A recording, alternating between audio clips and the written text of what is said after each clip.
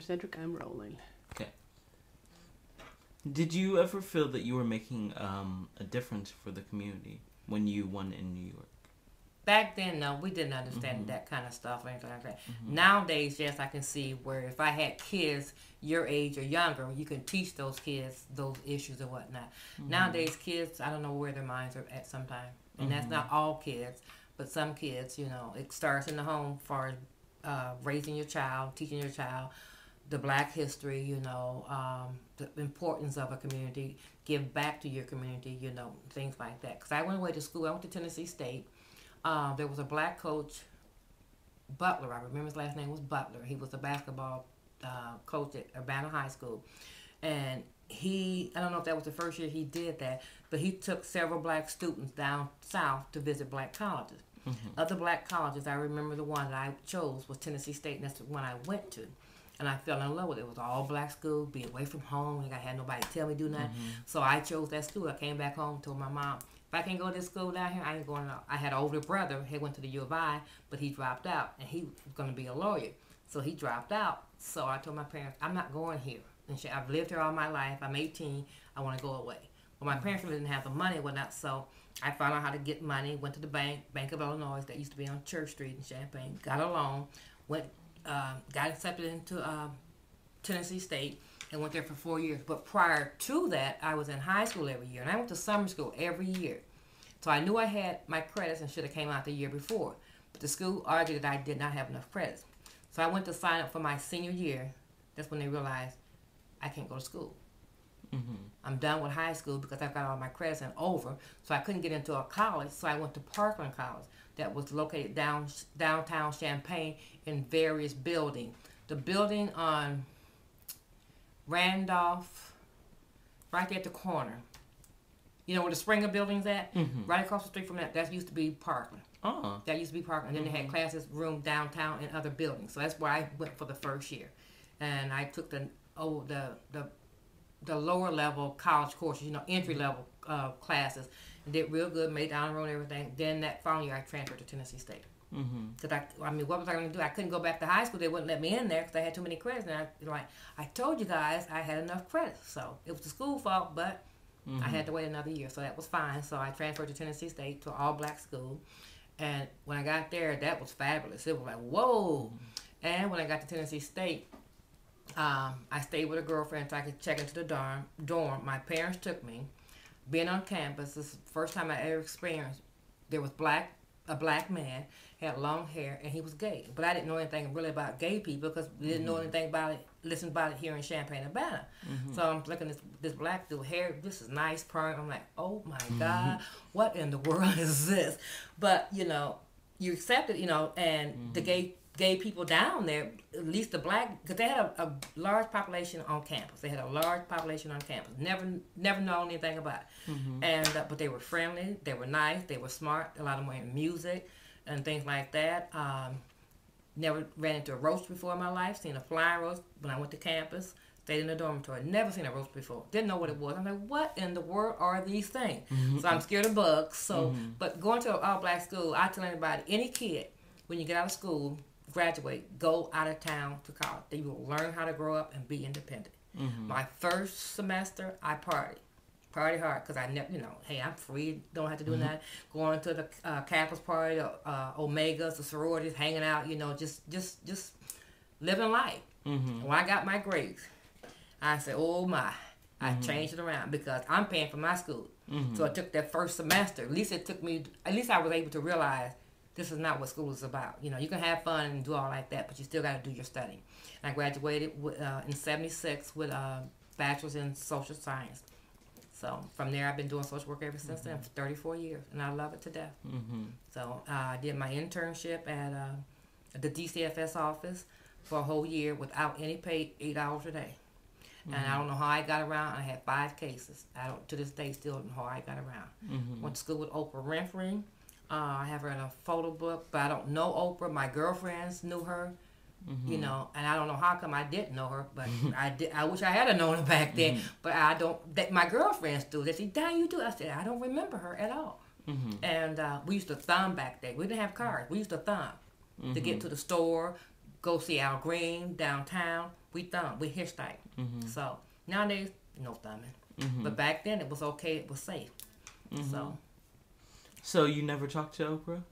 I don't recall. I don't recall. I have a picture with her in a yearbook, but I don't recall.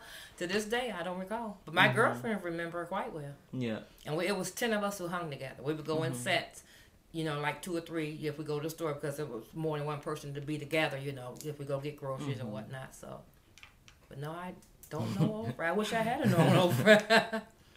Yeah. What was the style like back then?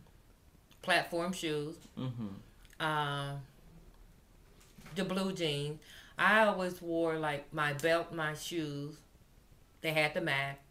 Nails had to match. Purse had to match. So something like that. And as. I got older, and after I had kids, that didn't matter, you know, as long as you were dressed appropriately, whatnot. But in high school, you know, it was a, a high school and college. It was a thing competition, you know, trying to look nice, be up front. Because I remember on campus wearing heels to school. Nowadays, kids don't wear heels to school, but back then we did. Mhm. We dressed up, you know, dressed those jeans up or whatever. Mm-hmm. So. Um, what was hairstyles like? I had mine pressed and curled Mm-hmm. because I couldn't get an afro. Mm-hmm. But afros were back then, uh, big afros with men and women. mm-hmm. Um, yeah, I don't ever recall having an afro. And then because I have such a large forehead, so I always wore my hair with my bang, bangs in front of my forehead. So big earrings. Uh, they had the clear plastic belts. They've come back. All that kind of stuff. What used to be has come back now. I mean, I got on platform shoes now. They got the clogs were in. You know, the wedges. Um, most yeah, we wore mostly jeans. Mm-hmm. Pretty much in the choir at school or whatnot. You know, Was that through all years of school or? pretty much so. Mhm. Pretty much so. Yeah. Mm-hmm.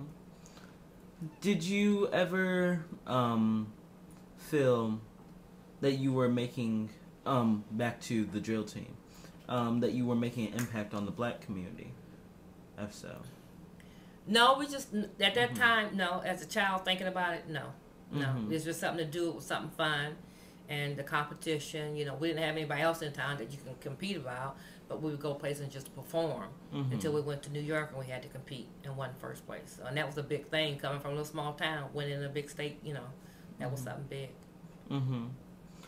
So, was I really want to hear about Styles for some reason? I don't Um, know how else to tell you about style. um, we look like little homely looking kids when you look at some of the pictures now. You know, Mhm. when I showed you in there, we just Mhm. look. To me, we look homely looking. I mean, we Mhm. had the mini skirts, the short skirts were in the short, the hot pants. That was a thing, and I always try to keep up with the style and whatnot. So mhm. It was just basic to me. I mean, all those Mhm. styles have come now back in a little Mhm. form, a little bit different. They still have shorts or whatnot. The shorts nowadays are, are micro uh, shorts, not hot pants. They're micro shorts, you know. Mhm. Uh, the dresses, some you still wear short, still wear long or whatnot. But yeah, we tried. If people just try to keep up with the fashion and whatnot, and then. Uh, we would friends, you know, we would share our clothing, you know, wear somebody wear this or wear that, you know, so Mhm. like girlfriends or whatever, and same thing in college or whatnot. So Mm-hmm. How, um, how was how was the town like the way it looked, Champaign, Illinois? Did it still look the same with all the buildings and things? Oh no, Champaign has grown oh tremendously. I mean, you used to have Birch Village, you used to have Lakeside Terrace. Mhm. Lakeside Terrace used to be all white, stayed in there before they started letting blacks move in there. It used to be all whites, and then blacks stayed on here. So you see the segregation from the town, from Champaign to Urbana, and on what side of the town it was. Um, Douglass Center has been, been real rebuilt. If you Mhm. could see a picture of what the center used to look like compared to what it is now, this is this is heaven for what it Mhm. used to be like. So. But we used to Mhm. skate up in there. I mean, it, you go around them curves, and some of it would be up, whatnot. So if you don't know how to skate, you're gonna get crushed on it, whatnot. so, and back then, I think curfews played a big factor. You know, parents Mhm. knowing where kids are at, not fighting, not acting crazy, kids not getting arrested. You know, there wasn't. There was, there was drugs, but and then there were gangs. So that controlled a lot of the black population on on the north end, is what they call the north end. Mhm. The gangs were real bad back then. Uh, they would burn things up. I remember before we moved in Dr. Ellis subdivision, uh, they had burnt one or two of the houses down that they were building up, you know, in the process of building. So they had the police had a lot to do with gangs here in this town. So. hmm How was um? So Champaign was segregated. wasn't set to a certain extent. It was Mhm. all all of Bradley Street was all whites, nothing but white. I remember that whites, nice yards, flowers and stuff. And then I think when one or two blacks would move into the neighborhood, then white people started moving out. So Mm-hmm. yeah, it was segregated back then. But back then, you never, you know, we were kids, we didn't think anything about it. Um, going to school, I don't remember kids calling that, you know, Mm-hmm. at least the kids didn't, you know. And like at Washington School, it was mostly black kids because it was for the kids in the community. Now, Washington School is segregated, you know. They bring kids from other side of town over here. But I think the schools in the black neighborhoods need to maintain, make sure the kids that live in the neighborhood go to those schools and not bus them across town. Mm-hmm. All the schools should be equal what they provide to kids in any school. Yeah. So Um, how was um, so it wasn't like racism, really, in a way. we, I can't say that I remember any of that. Mm-hmm. You know, Mm-hmm. I don't remember people calling kids names. I just don't remember that at all. Mm-hmm. Hmm. How was elementary school? That was vague. I don't. Mhm. I I remember getting in trouble a lot of times in grade Mhm. school. I was always getting in trouble. Mm-hmm. Had to go to the office, get a paddle. They used to paddle you back then. Mm-hmm. So Was there a junior high? Or? No.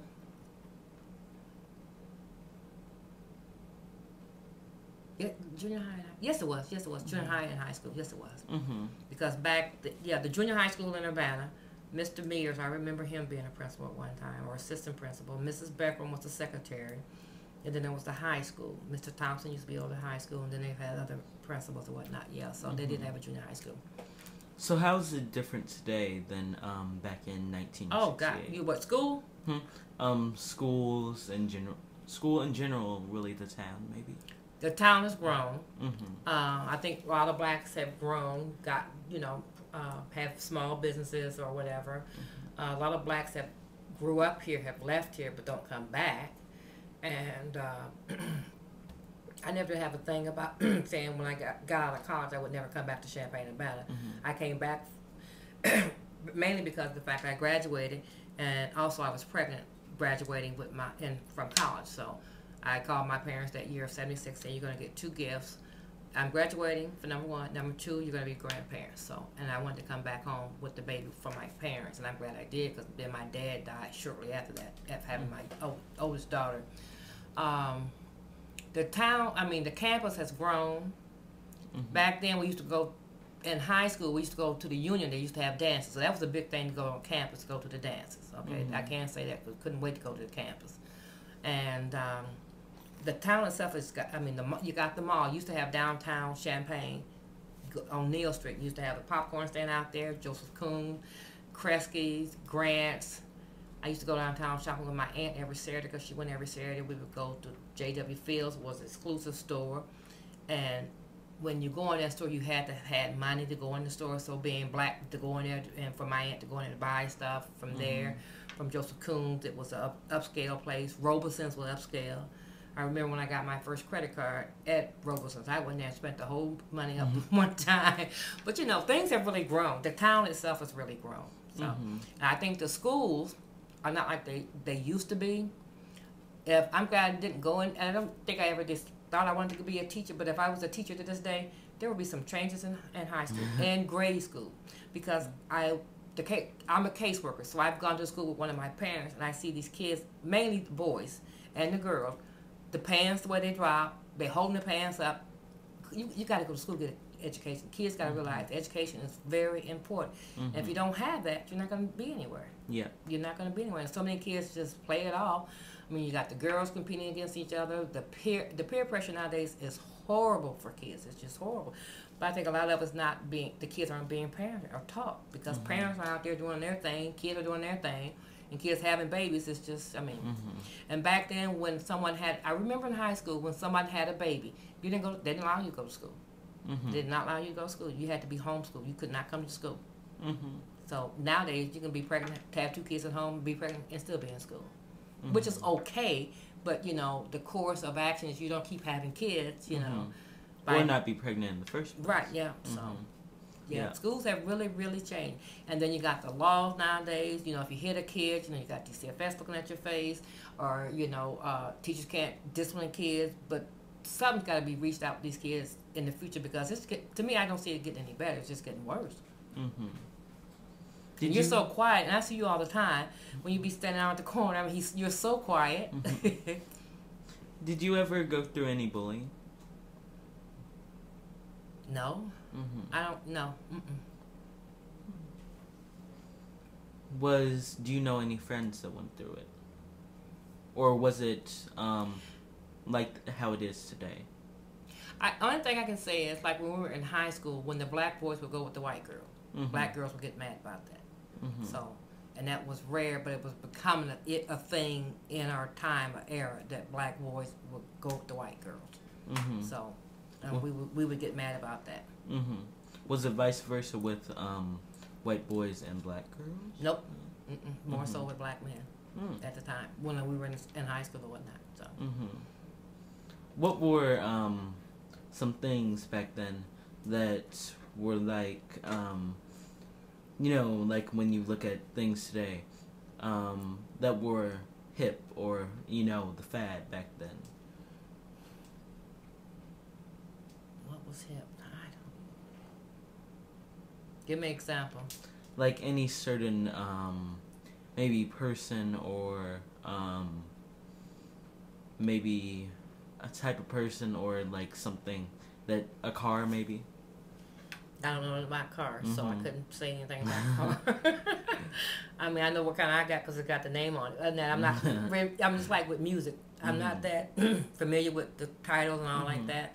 Um, like I said, I was always outgoing, you know. So, and mischievous when I was younger. But as I got older and you know, middle school and all like that, you know, wanted to be popular, you know, date boys or whatnot, um, be able to work, have my own money. So, and I, you know, I got in trouble for curfews a lot from not coming home on time. Mm-hmm. So, but you suffer the consequences of not being home on time. So, yeah, I was able to go to the proms and stuff like that. You know, I always wanted to be in somewhere. You know, not saying fit in because I did fit in, but just always wanted to be there where something was going on.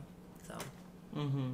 But now, as I, you know, as I've grown and gotten older, you know, to go to a party, that's that's fine. But back in the day, that's just part of growing up and learning, you know, mm-hmm. learning experience. So.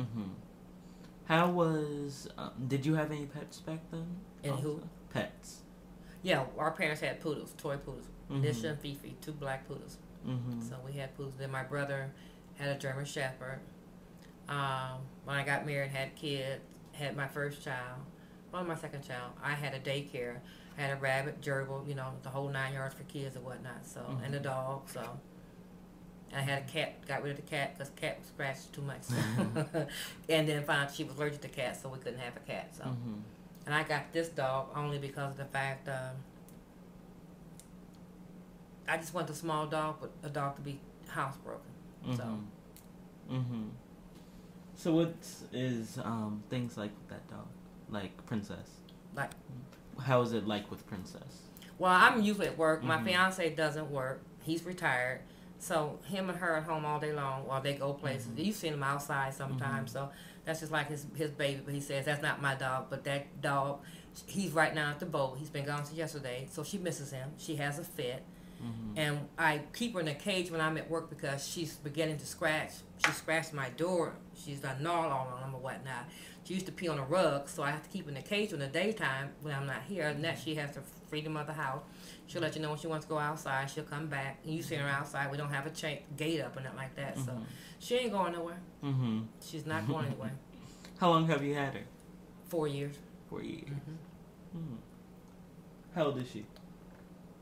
She's four. She's 4 mm-hmm. mm-hmm. Yeah. Okay, can you say who you are again? My name is Diane Nesbitt. Okay, thank you, Diane. You're welcome. Hey.